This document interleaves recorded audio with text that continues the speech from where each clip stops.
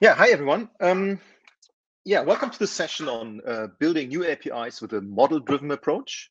Um, so it's um, one of the latest additions that we built into our um, integration stack from IBM that combines application integration and API management and uh, API protection through gateways in a single toolset. And that is available through our Cloud Pak for integration. And I just want to introduce the um, the philosophy and the benefits behind it certainly, and what kind of problems we're trying to um, to solve and achieve with this.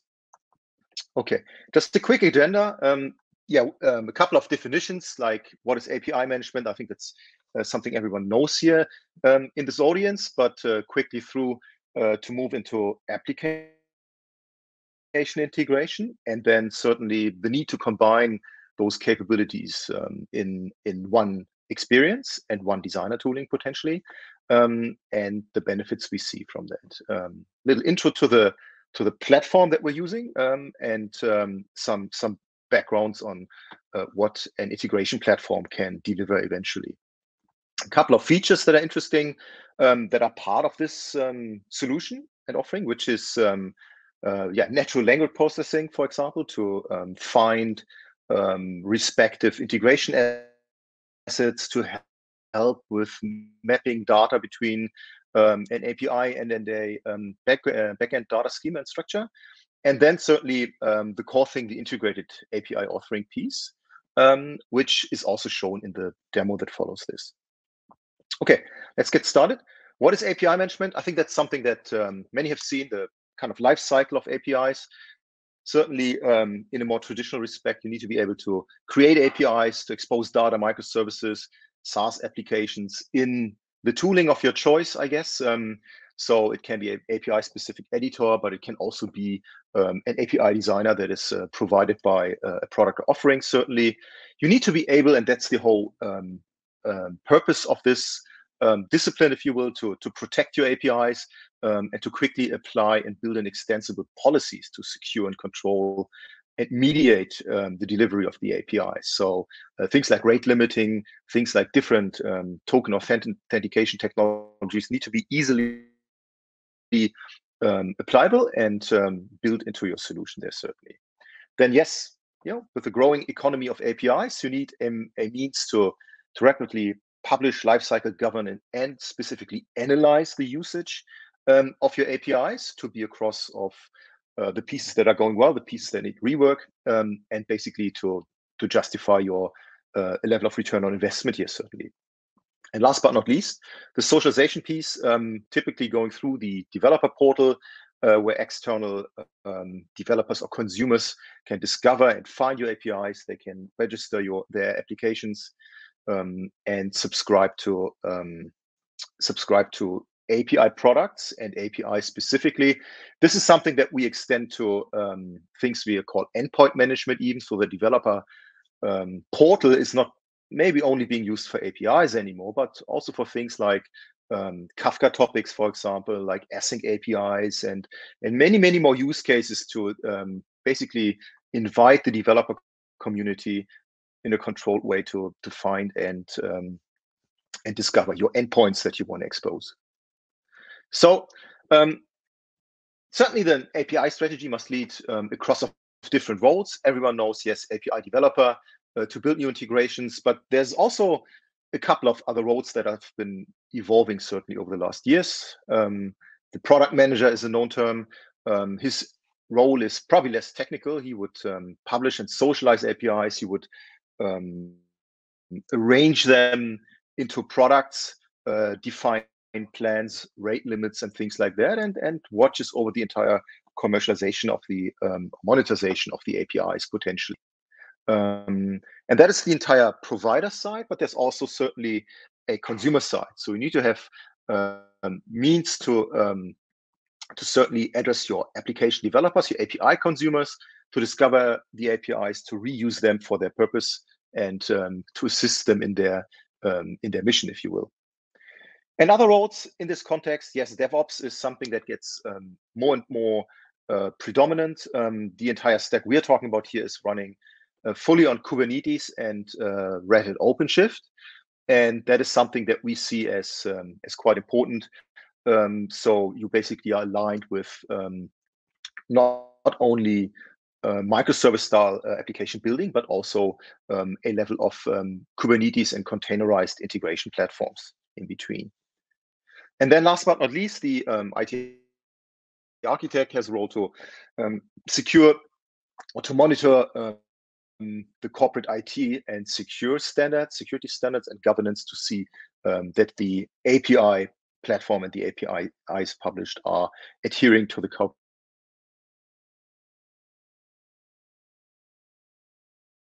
stack is basically uh, um, yes came with a new release version 10 uh, mid of last year and um, had a couple of distinct things that we're not looking at in this session, um, but that I just quickly, um, let's say, advertise here with things like um, GraphQL support that you can natively build GraphQL and also um, async APIs um, in the same catalog with the same tooling and with a full consideration of the platform.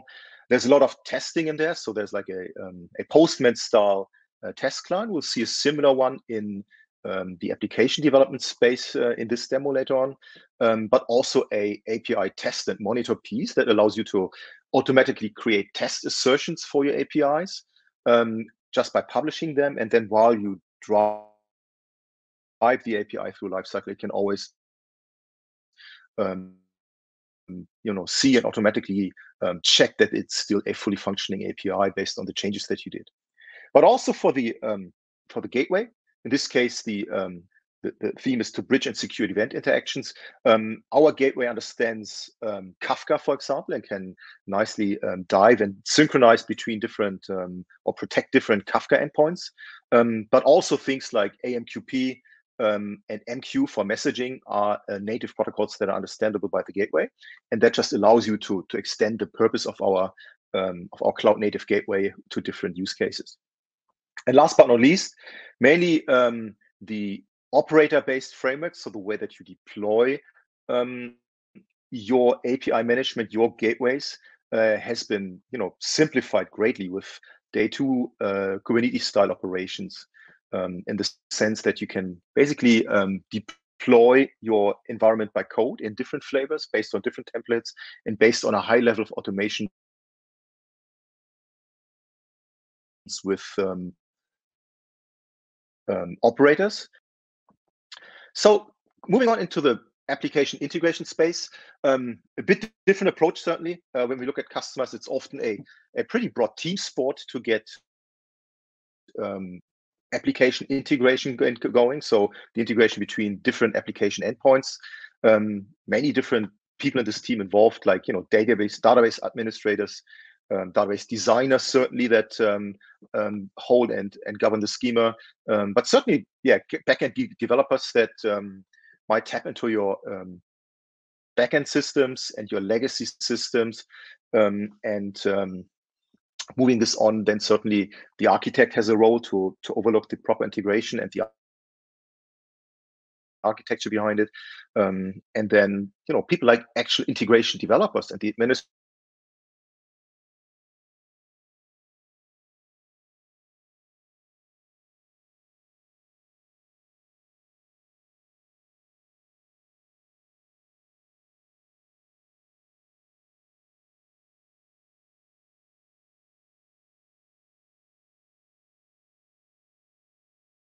certainly APIs have arrived in that space as well. So there, there's in the form almost as a contract in that sense.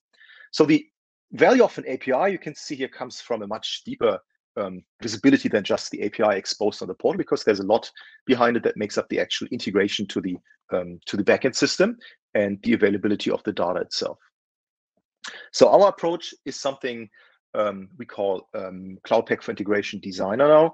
Um, that is a a no-code tooling to to create those um, integrations based on smart connectors, based on um, a web client where you just drag and drop these integration points and then configure them and have an easy means um, to to basically build these integrations.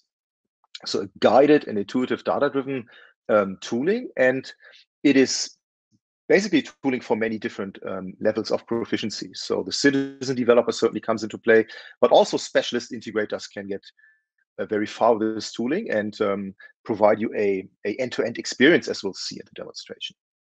Um, so it's all about increased productivity and time to market because building this integration, as we'll see in the demo as well, is a matter of um, minutes and hours and not a matter of um, weeks and months to a great extent. A lot of um, you know scalability, um, industry security standards. It's basically baked into the platform, and it's something where you don't have to um, you know provide or invest that much consideration anymore because you can trust your trusted um, integration platform. Um, and it happens based on a pretty broad connector library, um, so-called smart connectors. And as you can see here, it's just categorized um, a little bit um, in the directions that it's going from just plain content services to all, basically you name it, uh, CRM systems, ERP systems, um, cognitive and AI services, and just other you know cloud platforms that provide services that are part of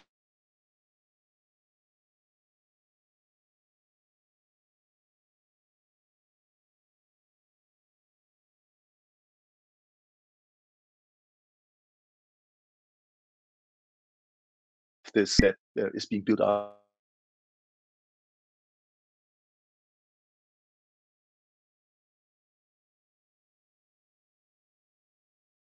for um, you know uh, for mainframe systems and um,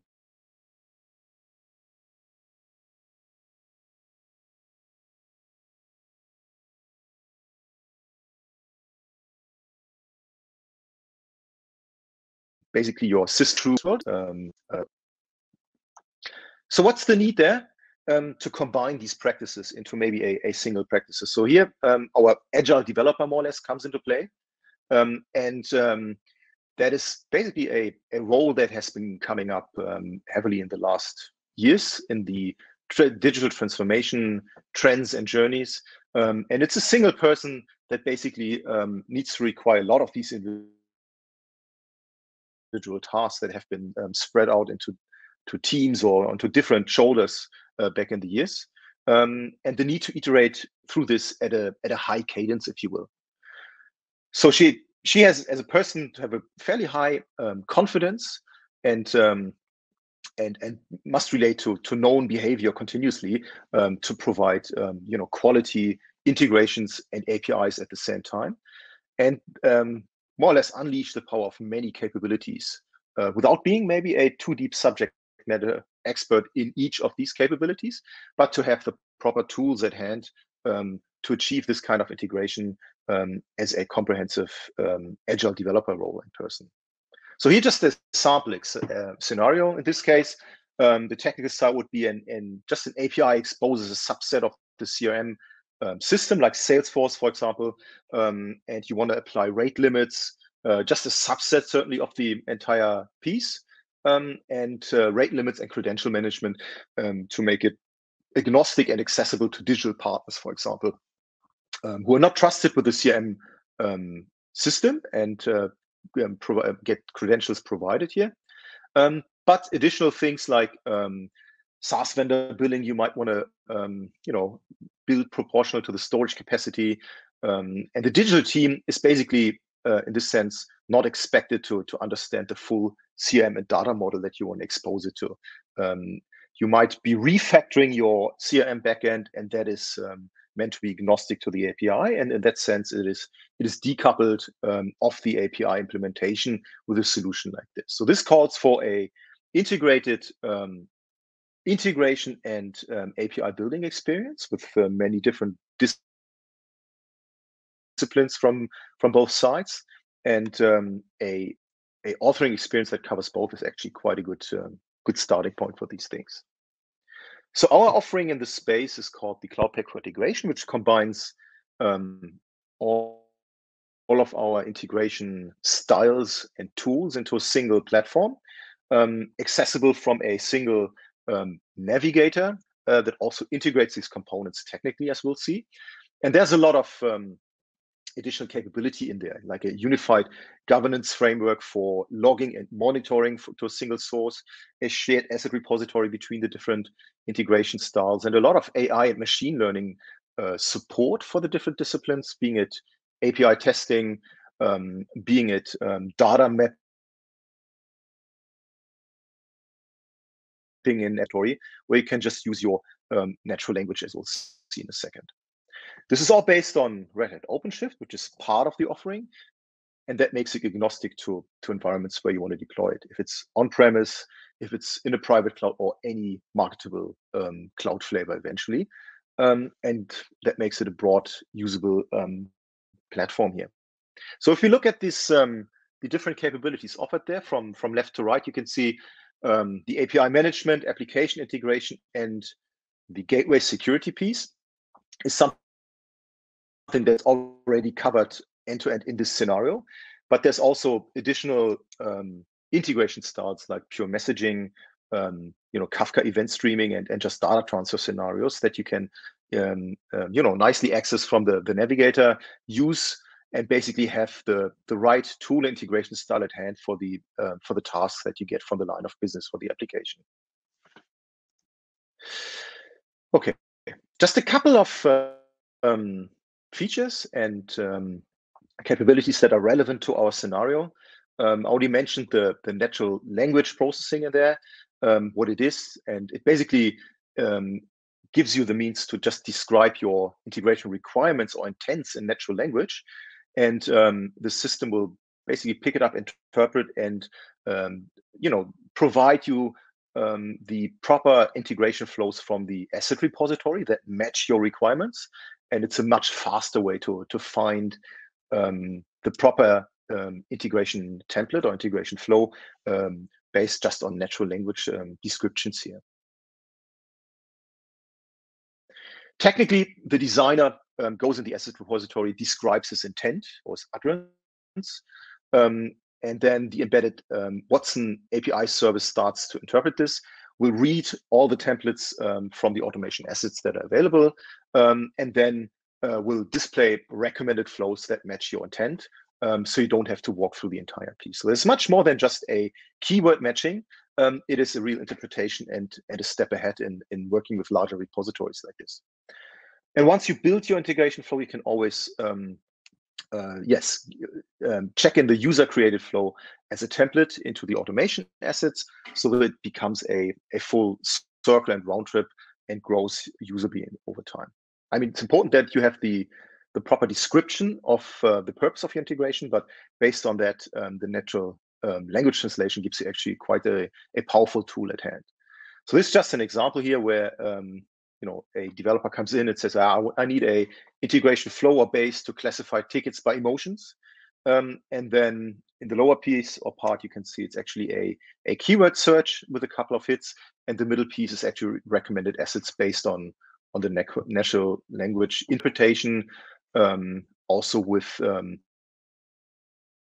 you know a probability and a certainty that um, the algorithm provides which is visible here in the middle and the last piece is the core part of um, this session, actually. So the integrated authoring and architecture um, to build an integration with an API and a gateway um, policy flow in one go, um, which starts basically in the um, integration or CP4I designer, where you, you build your integration flow, uh, you want to expose it as an API, certainly in this case, um, and you can easily just with a press of a single button, more or less deploy it into API management, um, deploy the API piece to the gateway.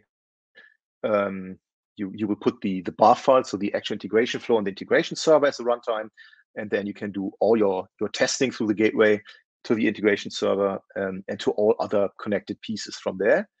And it's um, it's a single experience that used to be quite uh, or used to require quite some separate touch points to get the um, entire use case going.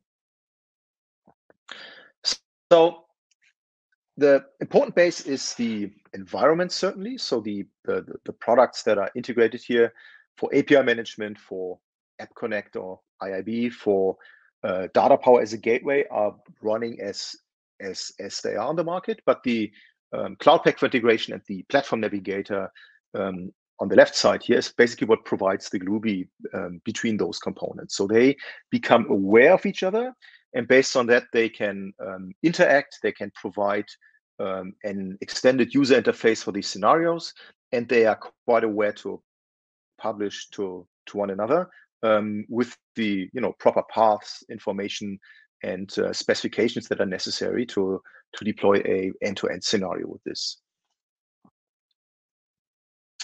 Um, the additional piece, if you look at it, is something that is yeah quite typical to um, API management and authoring gateway policies. So you you build your application, uh, your integration flow, and then you have a good means to to visually add things like rate limiting, uh, provide a switch flow, redaction gateway scripts, um, token generation and validations for different security policies. All these pieces can be added uh, while you build your integration um, to make it ready for a uh, proper um, gateway deployment uh, from the from the same user interface eventually.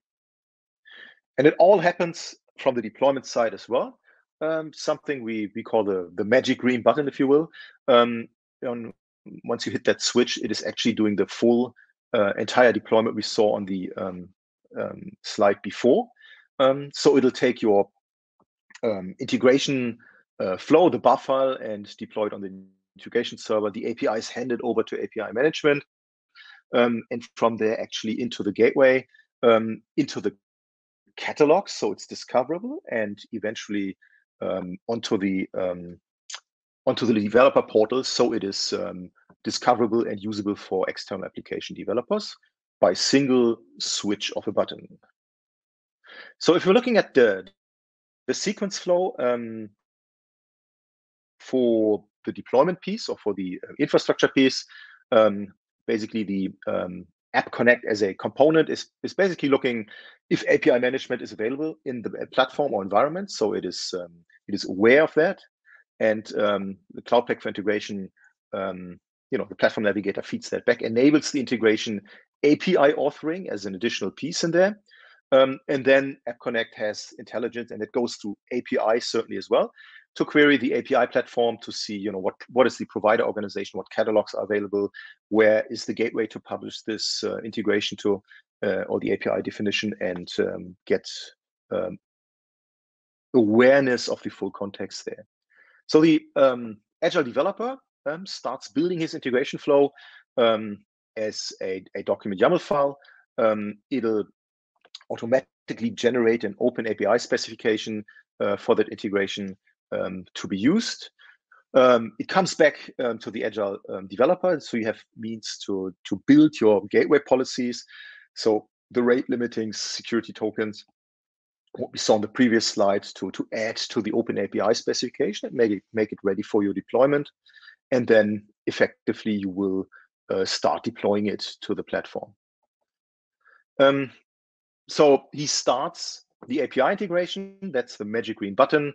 Um, it then starts to deploy the integration endpoint to the integration server. Um, it creates a, a product to publish the API into API management, and from there into um, the gateway and um, the API catalog.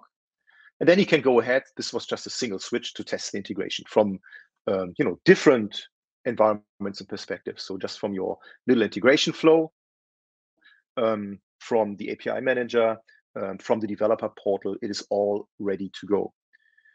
So um, basically, you send a request from the different test environments um, to the Data Power Gateway to test your API.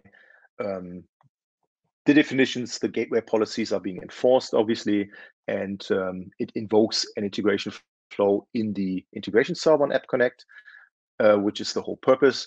Um, receives the response in the flow and that is um, returned to the um, to the tester, to the uh, agile developer in this sense from his test environment. But there's also perspective from the um, application developer, um, certainly, who is um, accessing the developer portal um, after subscribing his application to a specific product that he registered there, accesses the API, does some testing, and gets the same um, result returned, or at least the same interface returned um, as an API response. So one click of a button gives you a, a fully integrated solution here.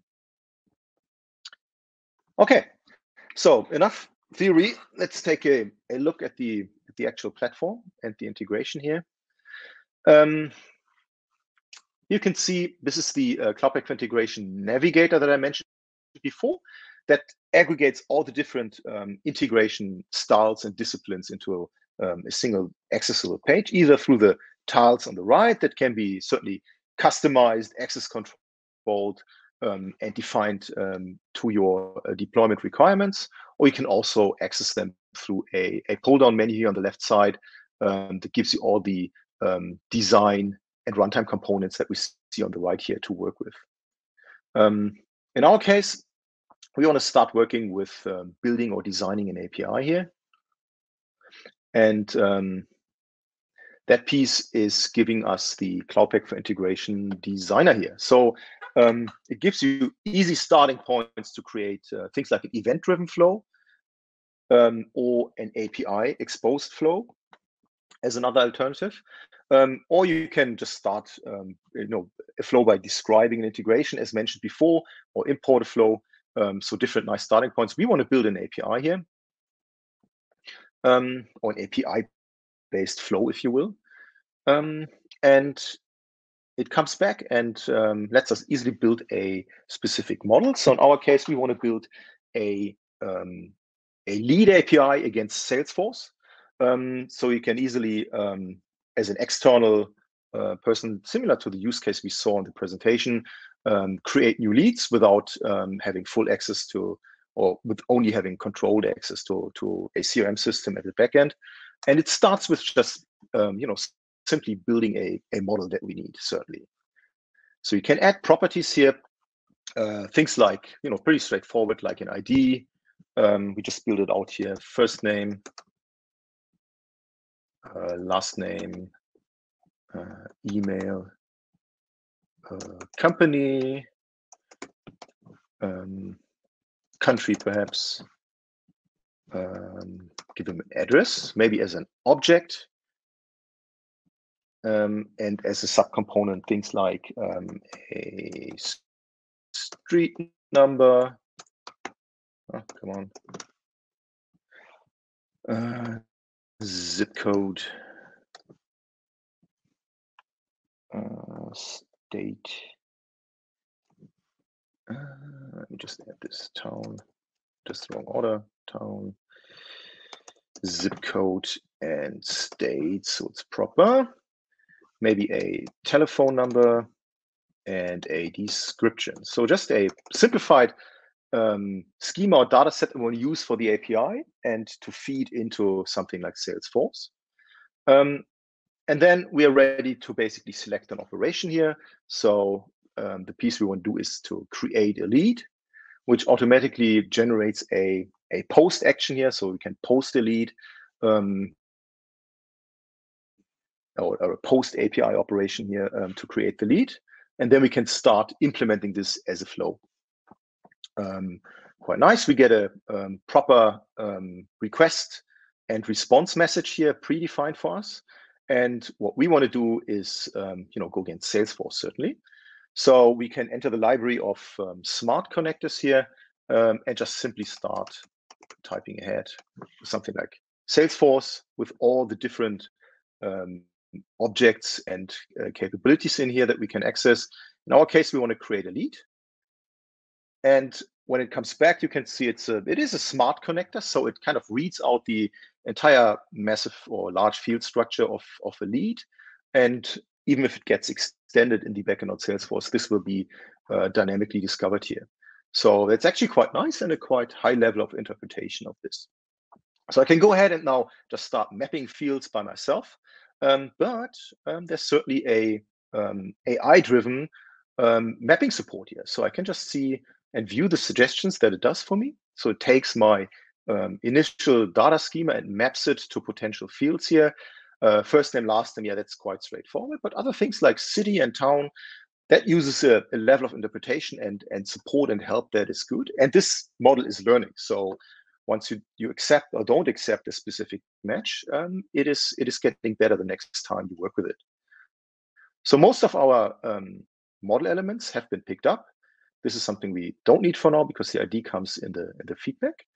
And from here, we can already go ahead and test it. Um, cancel this. I got my, oops, hold on, my suggestions. Uh, wrap this off. then I apply the suggestions, right? Um, and then I can start testing it. So pretty simple. This goes straight into the connector, into Salesforce to see if what we built is feasible. And let's see what comes back. And ooh, okay, bad test result. Um, an error message from Salesforce is uh, pushed through to us, and it says, okay, uh, you have to specify a valid email address, um, and sample email might not be a proper email address. Yeah, that makes sense. And this is mainly due to the fact that um, the, the, standard um, test data here that is generated is probably not that useful. You can see that here if you look in the object. Sample email is not a proper one. Why don't we just intelligently regenerate a sample data piece here and use a proper email address? And you can see it's it's well interpreted to provide you good test data that you can use as a starting point. Um, we just hit try this action again. And then you can see um, it is hopefully getting through. Yes, we get a 200 OK back.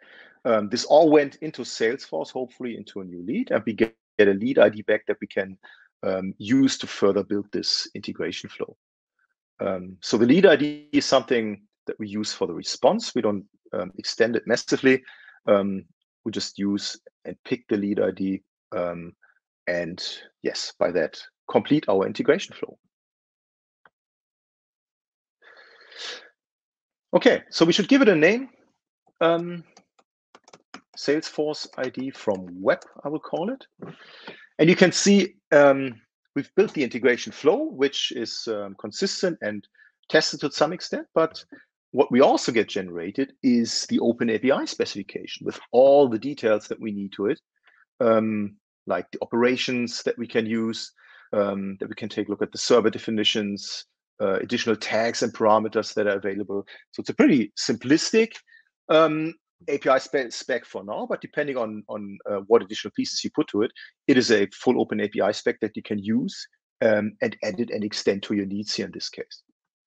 But also, besides the, the, the Swagger definition, um, you can influence and, and, and basically manage your gateway policies that are um, necessary for uh, your governance. So in this case, it's just an invoke flow that invokes our API call. Um, but there's lots of stuff you can do for transforming it on an API level, add additional policies like rate limiting, which we could add. Um, uh, just limit requests, we might call it. Um, you can select from different sources, like um, the, the default one in the, in the catalog or in the plan. Uh, we just use the, the default plan that is um, part of the API deployment. Um, but you can also add other things like, um, you know, token generations, uh, token inspections and validations and stuff like that. So quite a, um, a substantial piece of uh, capabilities you can add to it and you can use um, to define an API definition on top of it. So, so much for design. Let's see if we can actually um, use it. So this is the, the magic green button I mentioned before um, you, you're not only saving what you did, you're actually starting to deploy it. Um, and deploying means deploy to the API management piece, um, to the gateway, to the catalog, to the developer portal, so it's usable and testable.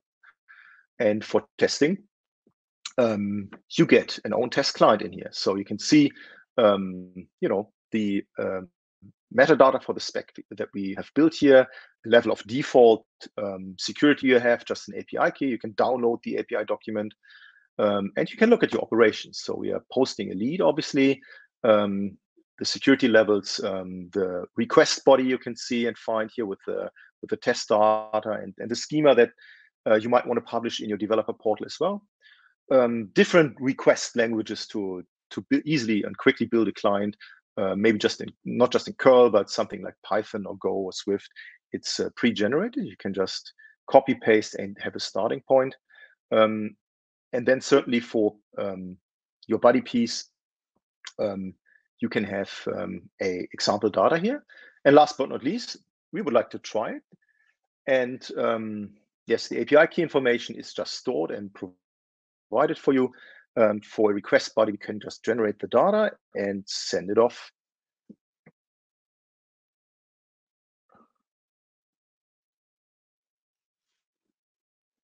Takes a second. So this is actually going to the DataPower Gateway. From there to our integration server to call out to Salesforce um, to post the data there, the, the generated one, and receive a request ID back um, to display as an as an API response. So it was a full round trip um, from the developer environment here, but certainly there's more to it. There was a a level of interaction certainly with API management. So we can look at um, our API management piece here. Just open that up.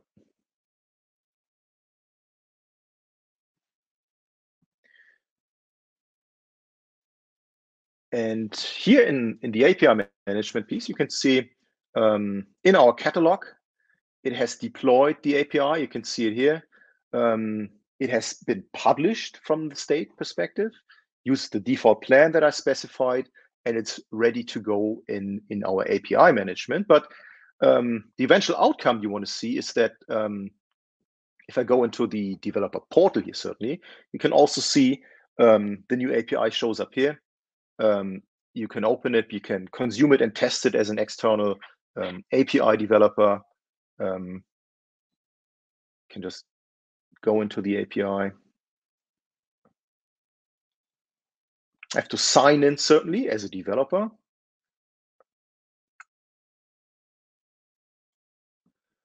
And once I select my product, um, I can subscribe to the API, to specific plan, for example. Um, it'll complain that I don't have an application yet, which I can quickly create. Um, I just call it my consumer app, for example, uh, can store it away. And that gives me a set of credentials here that I can, or that I should copy away. Um, and from there, I have my app registered and I have good means to, to access and, and test the API integration flow that we just had. Let me just hit that consumer app. Um, and you can see um, I can go ahead and subscribe to it, to the default plan, once I created my application. And now I'm done and I can actually work with the API. So in this case, you can you have a similar experience that's for the external app developer to discover APIs in the developer portal. Um, I can access the operation. I can try it again. Um, it stores my credentials um, once I'm here in the authenticated environment, but I've seen that before. I can generate my body um, for Pauline Miceli, and then I can send it off against um, Salesforce. Just fix this last piece here. This is for our self-signed certificates. And I can see if I get success now for the second attempt. And yes, it went through to Salesforce and I get the uh, Salesforce ID back. So pretty end-to-end solutioning here um, from a single design environment. And um, just to prove you that it was um, something real, we should see a few more leads being generated um, with Pauline Miceli, our last one here in Salesforce. In the lead section, that's uh, just my developer account and quite a straightforward piece um, to get this done. So what we've seen is you can easily build um, a full end-to-end integration piece here with um, App Connect Enterprise and uh, the Cloud Pak for integration. And um, it um, not only allows you to test your integration, um, you can define gateway policies, you can work with the Open API specification, and certainly you can build um, the integration flow to different backends in a in a single go here.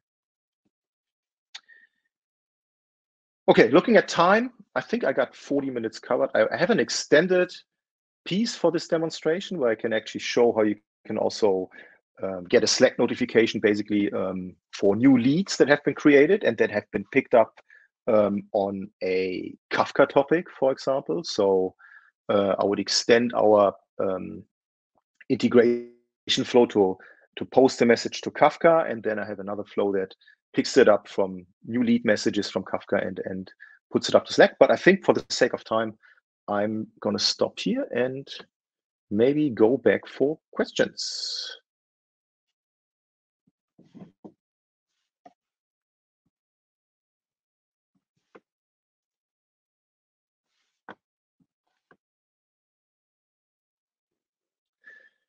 Any questions to this scenario? Um, specific uh, more requirements? Um, how applicable, it is for maybe one of your corporate scenarios? That would be nice to know. There is a trial for this.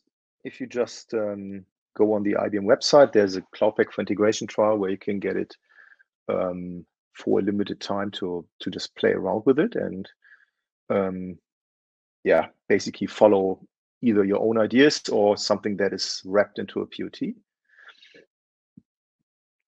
And you can easily find that on the, if you just Google for Cloud Pak for integration trial for IBM, that is um, quite broadly available there.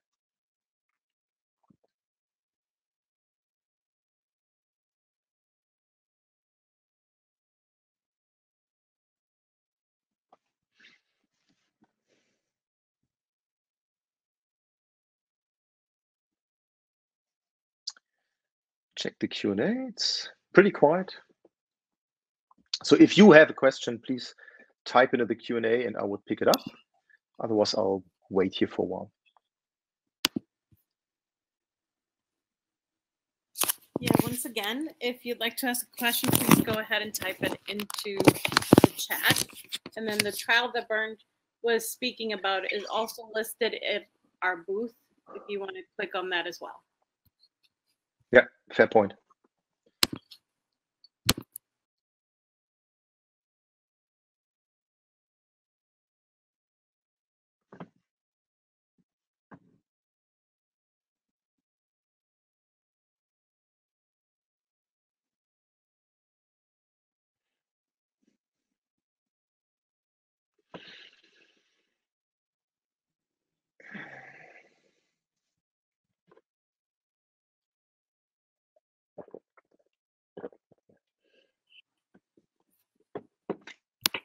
So a question did come in for Open API. How does the platform support OAuth 2.0 authorization consent scope? Uh, can you repeat the second part? Yeah, it's right in uh, the chat. It says. Um, oh, I can see that. Oh, yeah. Open. Right. Yep. I was in the Q&A. Okay. How does the platform support OAuth 2.0 authorization consent scope? Yes. So that is um, something that is part of um, the API definition there that you can um, um, apply um, OAuth um, policies there, define it for the DataPower Gateway, um, and also certainly a, a consent scope as part of the construct. So that is not nothing that comes with the uh, App Connect side. That is part of API Connect and a and a, a pretty standard approach to use OAuth for uh, authorization um, and also use it as a as a consent scope for your um, for your token based authentication. Um, yeah, I can can point you to the documentation and um, into core API management. But um, the beauty of this scenario we saw here is that you can now take um, your application integration, take it all the way to to build the uh, OAuth specific authorization uh, pieces and the token authentication Uh, in one in one go and in one environment even.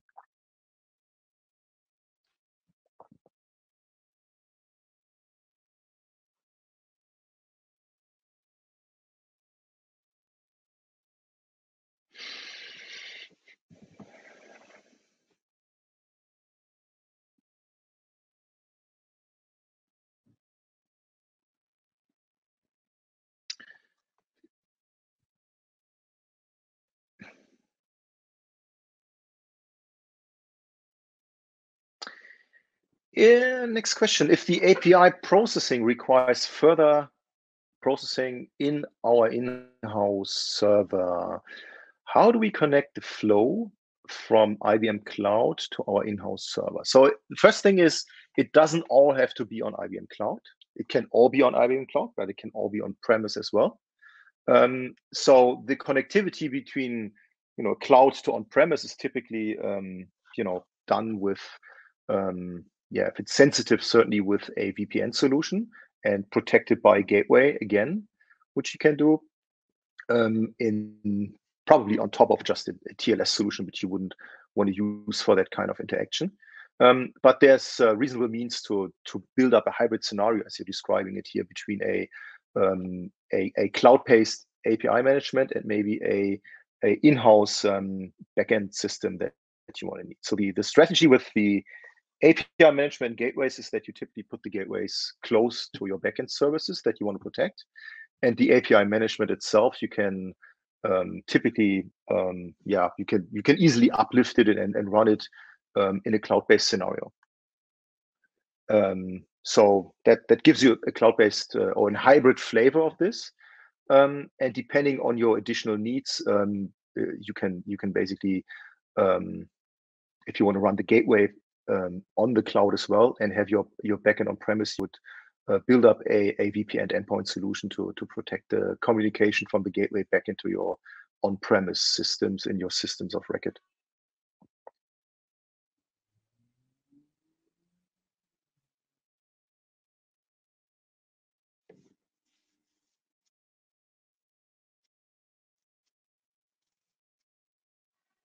So same applies if the because you're you're, you're writing or asking for flow here. The flow would be the integration flow potentially. Um, if that is reaching, if that is running on cloud and reaching back into your on-premise backend systems, it is something you would protect with a VPN solution. There's um, yeah, a marketable one available on IBM Cloud if you run it there. Um, but but any other solution would would do the job as well. Um, and that's a yeah, I guess a rather typical um, hybrid cloud setup scenario that you have to pursue um, to to to safely um, access your backends. But I can see many many customers are also running the App Connect part on premise because it's uh, it's it's close to the backends, and you have to more or less define the exit point where you want to um, lift components of this architecture to cloud, which can be um, you know after the gateway and um, and um, you know behind the app connect piece for example so you just have the api manager on cloud. So that's an architecture discussion and it actually um, provides solutions for for every kind of combination there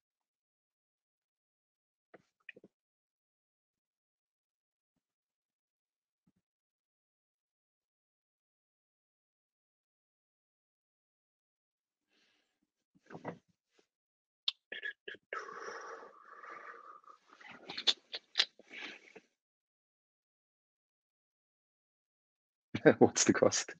Um, yes, that's a good one. Um, so for the for costing, you probably, you should probably get in touch with us. Um, it is. Um, I mean, you can start with. There's a SaaS service on IBM Cloud for API management. Um, that is the the yeah the previous version five experience. So there's um, quite a few steps back if you want to have um, the things we saw today with the new API management and Cloud Pak for integration, that is something that uh, will be available end of the year as a um, product or service uh, or SaaS service um, on IBM Cloud and AWS probably. Um, but um, until then, you can certainly um, deploy it uh, in the environment of choice, being on a cloud, on a private cloud uh, on premise. And that is um, there's different licensing models for that. Certainly, it's uh, typically evaluated by um, um, virtual processor cores that you need. Um, so you would go ahead, we would probably provide a sizing for a scenario or go with a um, small, medium, or large footprint sizing. And based on the um, processor cores that are consumed, being it on cloud or on premise, um, that needs to be licensed by the software. and the licensing model behind it is Cloud Pak for integration. The platform is also a licensing model, and um, a single license provides you entitlement to all the different capabilities or sub capabilities, if you will. So if you're just looking at API management, the ratio is one to one. One Cloud Pak license is, uh, or one Cloud Pak core is one um, core of um, API Connect. But if you look at App Connect, for example, the ratio is different. um, because it's more capable. You you have to get uh, two Cloud Pak uh, core licenses and gives you one core of App Connect, for example. So there's a it's a ratio and it's it's like a currency, if you will, and and by that you can um, you know um, see the footprint there. There's also a new um, call-based licensing, so you can uh, you know take a step back from the processor core-based licensing and just define how many calls we will um, want to go through your system. And I think it's done by um, I have to check it actually if it's by 50 million call pieces or something. And um, by that, you can um, top up to the um, required load that you see for your system and, and have a new licensing, new consumption-based licensing model there.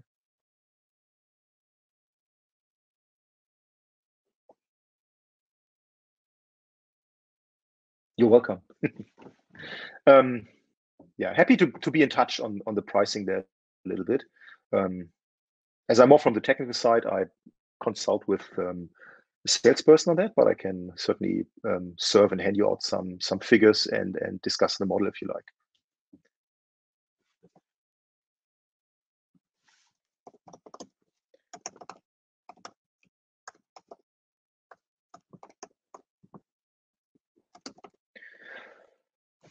Okay, so if just if you want to stay in touch, um, and I know it's in my profile as well, but uh, just for handy purposes, I'm just going to type in my email here. So uh, we can do any kind of follow up, being a technical or or commercial nature.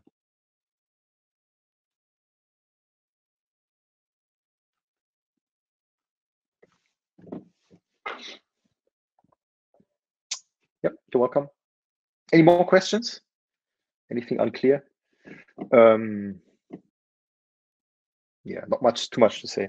Most of these um, are available also as as videos, uh, the recordings, so you can can recap. But um, I think the um, uh, the main value is actually um, building something that is based on your on your own requirements here.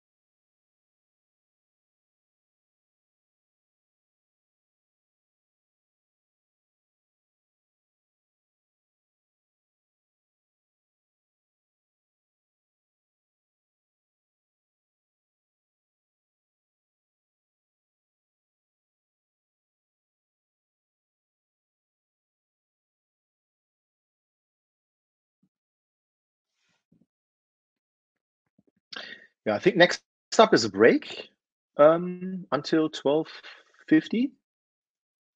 And um, that gives you 30 minutes left um, for the next session to start. So I'll stay until 12.20 and then um, I think this session will be terminated.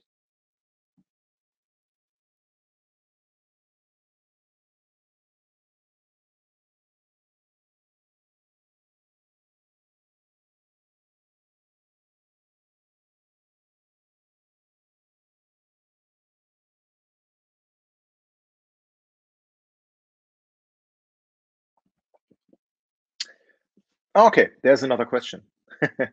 I didn't monitor the chat anymore. I saw you connecting some flow rate limiter in the API gateway. If we have some on-premise functions that we want to add, add it through API gateway, through drag and drop on our on-premise function, is this doable? Mm. Yeah, not quite sure what you're referring to here. Um, you can do um, you can do customized policies and um, um, custom um, gateway scripts certainly to to you know in for example the JavaScript world to customize the the flow. Rate limiting is specifically one policy that we provide that you can configure um, in the API assembly that you saw, but you can also um, apply it um, on the product level in API management. Um, so to to really define define rate and burst limiting, uh, so you have a level of control of um, how much load is going against the API. Um, drag and drop would work with the pieces, the two pieces that we that I just discussed that we provide, and you can customize it to your needs.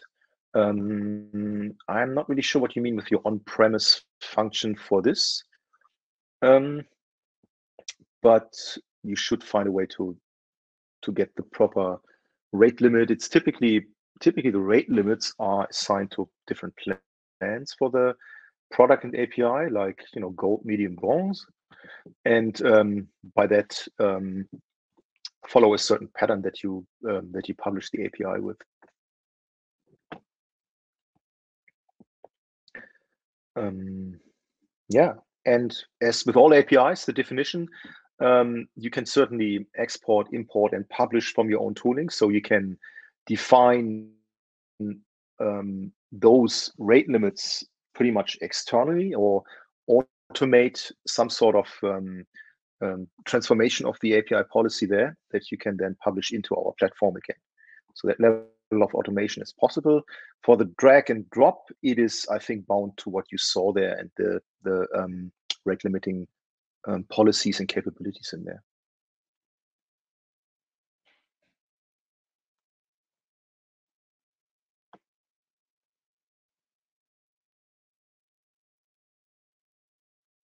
All right. Um, I'm going to call the session over. Um, I left my email address here. If you have any more questions, um, just um, send me a note. I'll pick it up and I'm happy to, to continue the conversation um, at a different point. And I'll let you go into the break now. Thanks.